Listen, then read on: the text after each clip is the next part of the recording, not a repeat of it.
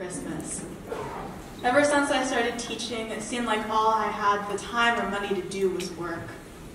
But this Christmas, when a mound of ungraded labs were stacked two feet high on my desk, one of my students from a few semesters ago came to visit me.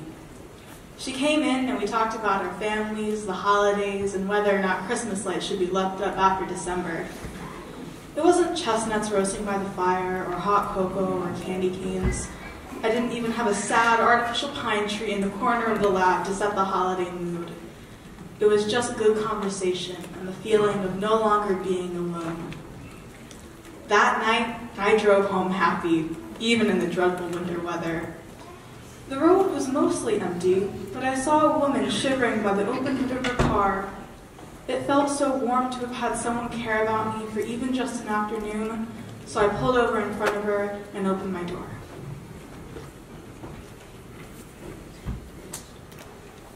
When you see someone on the side of the road with an open hood or a flat, you probably drive right by them, and I don't blame you.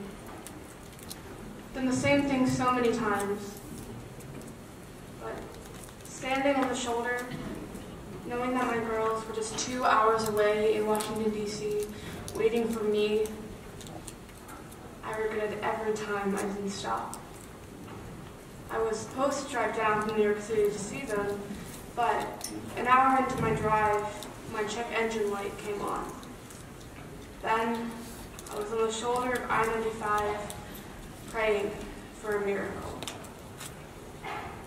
For 45 minutes, I tried to accept that I wasn't going to make it home. I called my girls and told them. But sure enough, a miracle happened. A woman with kind eyes pulled over. She said she knew nothing about cars, but she could give me a ride. Can you believe that?